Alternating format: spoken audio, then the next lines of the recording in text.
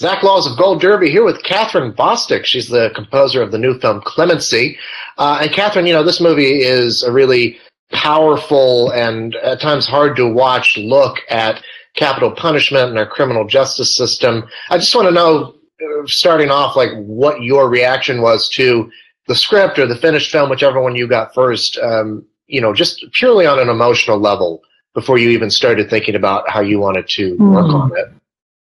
We, you know, I first read the script um, after meeting with the director Chinonye and the lead producer Bronwyn Cornelius. I read the script, and it is so it's so visceral. It is so riveting in terms of just the that raw emotion that you feel when you deal with the idea of death row and what does that mean and, and who's incarcerated and why. So it brought up a lot of different issues for me in terms of judgment, the penal system in this country, the systemic racism that continues to go go on in this country with regard to incarcerated um, black and brown men and women in particular. But more than that, um, I was really moved by the inner journey of, of the character of the warden to really understand, oh wow, that's right. These people, they're they're they are dealing with this rite of passage um, of you know uh, of death, and how does that affect them? How does that how do they handle that? Right. I mean, I think that um, obviously um, everyone has their own opinions about the death penalty, and you know, going to this movie, you're either going to have your views solidified, or you're going to have your views changed, or you're going to have your views challenged. What's it? What's interesting is that you know you mentioned the inner journey of this character played by Alfre Woodard, and I think that's the part of the movie that is the most surprising because we think of this in terms of the inmates and the people who are being executed, but thinking about it in terms of the person who is having to carry out that execution, that's a really different uh, perspective. And so I wonder, uh, how did you chart that emotional journey of this woman? Well, you know, it was a very, it was a very um, thoughtful process. We tried a lot of different approaches sonically to capture the emotional quality of, of Bernadine because she's she's so compartmentalized. She's got I mean like everything has to be in place so she can deal with the ordeal of her day-to-day existence in this in this prison system. So I, I had to really think about making sure that the music reflected that kind of an undertow, reflected that kind of of, of an inner kind of groundswell that you you try to keep it contained, but there's an absolute rhythm, an absolute momentum that is growing. Um, and and how do you create that as a part of that visceral storytelling without at the same time being overly sensationalized about it. Right.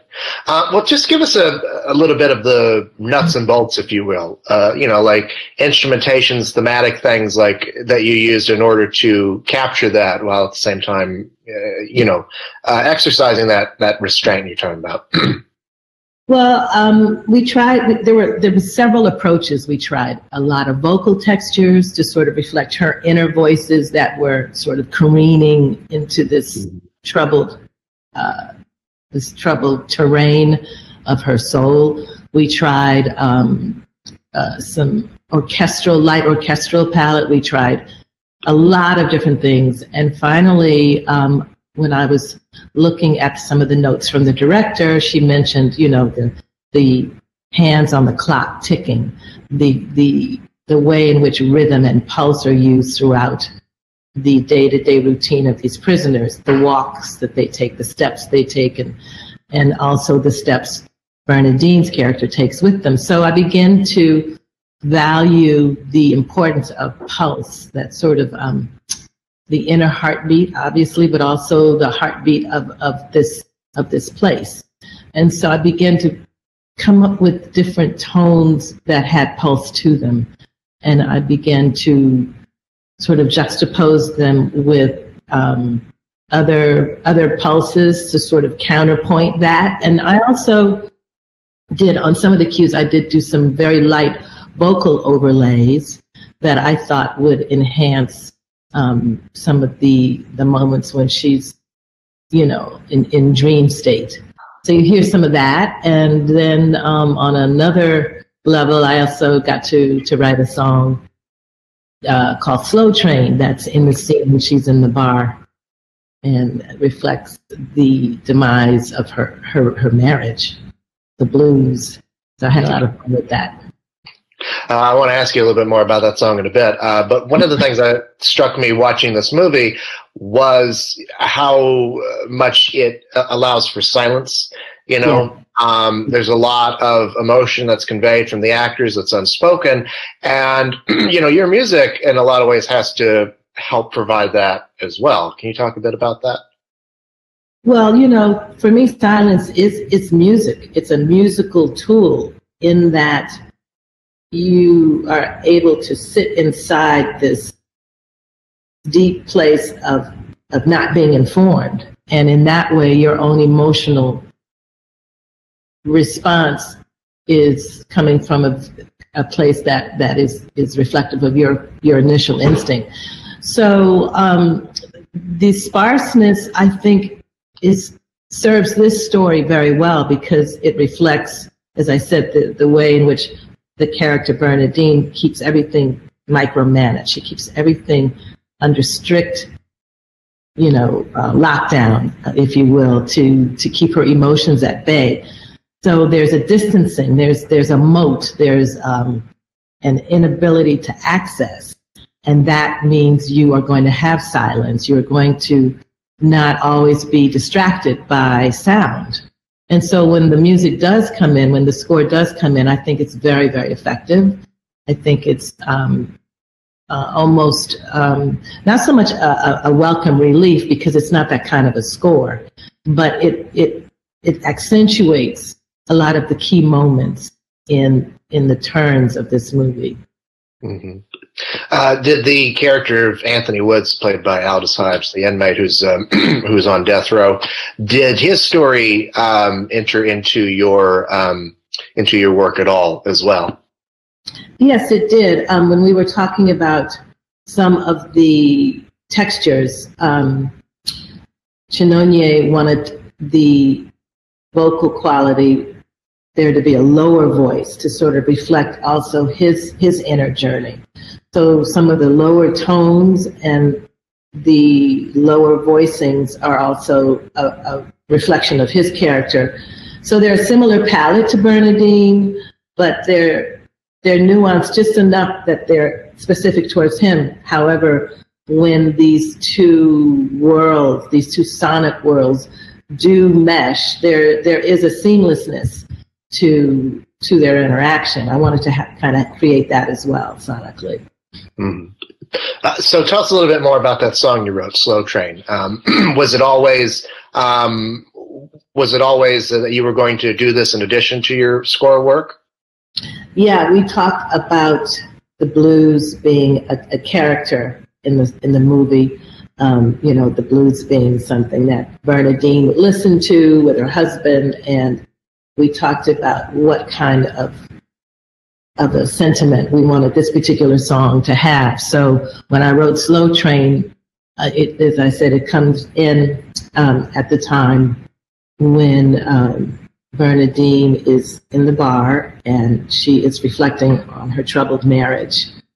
So um, I wanted to write a, a, a song about that that loneliness that you have, you know, when you're when your relationship is, is falling apart and you're trying to salvage trying to salvage it. Mm-hmm. Um, so you've worked with uh, some really talented, great directors uh, in your career, uh, mm-hmm. people like Ava DuVernay and Justin Simien. How does Chinonye Chukwu uh, stand up beside them? I mean, uh, this is. well, you know, I I don't I don't do comparisons. I mean, everybody that I've worked with is extraordinary. Everybody that I've worked with has their own autonomy and their own vision. So I don't, I feel so fortunate because I don't ever do that kind of comparison. I just go full into the the relationship that involves my collaboration with with the director and producers I'm working with, and I've been really fortunate. I've worked with August Wilson. I just worked on the Toni Morrison documentary, uh, and and got to just marinate in that vibe of her her stature. So you know, everybody brings something very unique um, and purposeful to their work that I think inspires me and helps me as a composer and as a person who's collaborating with them. And what did Chinonye bring to this one? I mean, certainly, um, you, you, know, she's made some shorts and a low micro budget movie before, but this is a really impressive kind of, um, mm-hmm. you know, uh, putting herself out there into the world uh, debut for a lot of people. So, what did she give you that helped you with your work? Oh my goodness, so much. I mean, she's so she's so passionate um, about this particular subject matter, and her activism is reflected in every ounce of this script and in every ounce of the choices she made in the creative team and the direction she gave. So that passion and that dedication to this particular cause of justice and injustice, it, it, it inspired me, it fueled me. And um, and I just appreciate that, you know, her storytelling comes from such a place of, of, of authenticity and truth. It's her truth speak. And I love working in that kind of a parameter, you know. I love working with people who who really have that dedication to their own voice. Uh, speaking of people who had a dedication to their own voice, you mentioned you worked on the Toni Morrison documentary this year as well, uh, The Pieces I Am. Uh, I wanted to ask you, you know, with Morrison gone from the mm-hmm. world now, um, you know, this movie, uh, that movie, uh, has a lot more significance, you know.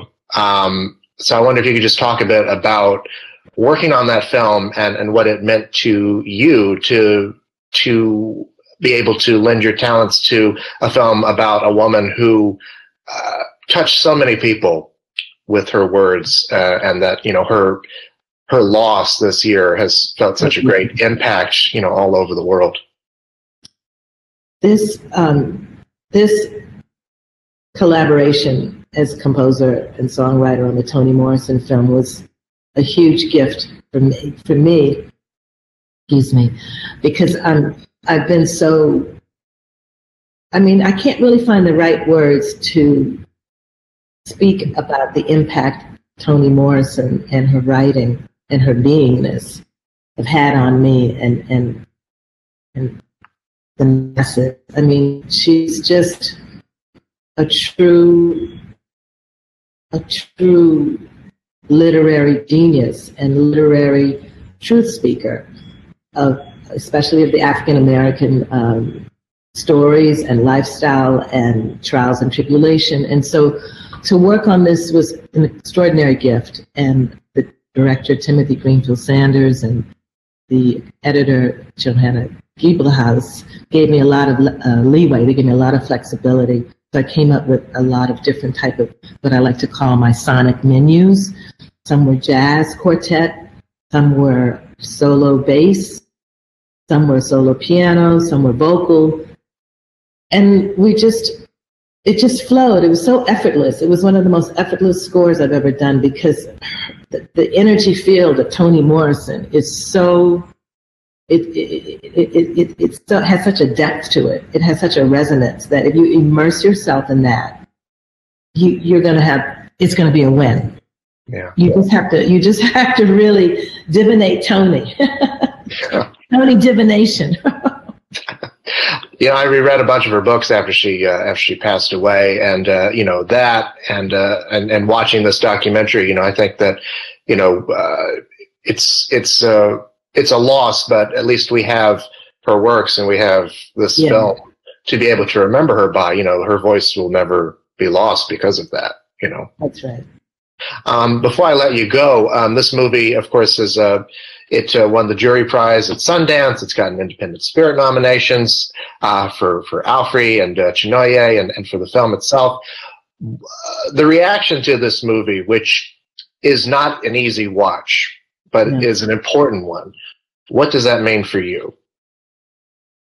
Well, you know, I think that this movie provides a heightened conversation and awareness about, as I said, just the, the justice system, the infrastructure of it, the infrastructure of, of a lot of the legislation and the way in which we as a society view justifying death um, and how we view i mean there's it's such a complex issue. It's such as you said earlier people have so many different opinions about um, about death row about inmate incarceration about the systemic racism that runs through it or not in some people's idea.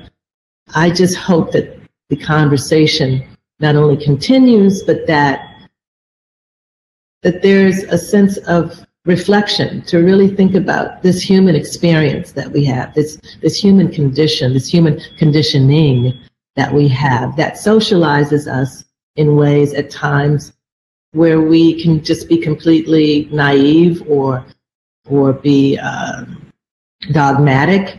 And just you know issues about judgment for me are very important especially now. These are very intense times uh, uh, where things are at a tipping point worldwide in terms of um, people's sensibility of what's fair, what's right, entitlement, all this stuff. And these are all constructs at the end of the day. For me, they're all constructs that serve as a way of distracting from the essence of humanity. So I'm hoping that this film will enable people to maybe have a little a little reflection about humanity in and of itself. Well, Kathryn, thank you so much for your time. Uh, it's a it's a remarkable movie, and uh, it was a pleasure talking with you about it. Thank you again. Oh, thank you for having me. I appreciate it. Thank you. Thank you.